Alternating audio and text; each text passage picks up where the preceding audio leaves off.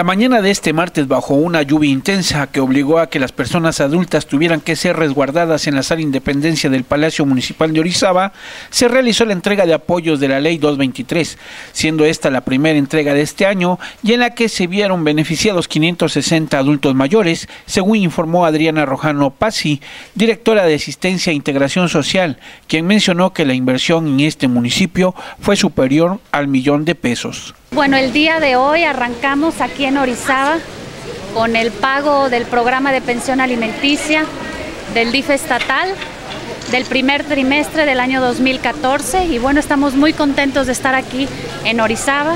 Aquí en Orizaba estaremos pagando más de 500 pensiones y bueno, con una inversión de más de un millón de pesos cada tres meses. Es un apoyo trimestral. Ahorita eh, abarca los meses de enero, febrero y marzo. Adriana Rojano dio a conocer que implementaron 10 rutas estratégicas para realizar esta entrega en los 212 municipios del estado, la cual arrancó este día y se culminará en tres semanas, siendo aproximadamente 38 mil pensiones de 2.870 pesos cada una. Estaremos en todo el estado, eh, tenemos 10 rutas estratégicas para abarcar los 212 municipios del estado de Veracruz. ¿A partir de esta fecha y hasta cuándo se completará esta entrega?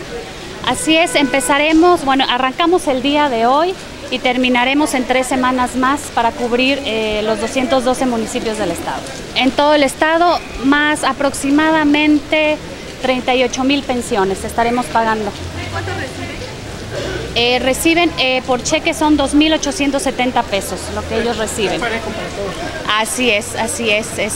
En todos los municipios es la misma cantidad del programa de pensión alimenticia del gobierno del estado de Veracruz. Son más de 108 millones de pesos la inversión eh, que hacemos en este pago en este, en este trimestre. Así es. Para Imagen del Golfo, Oscar Reyes.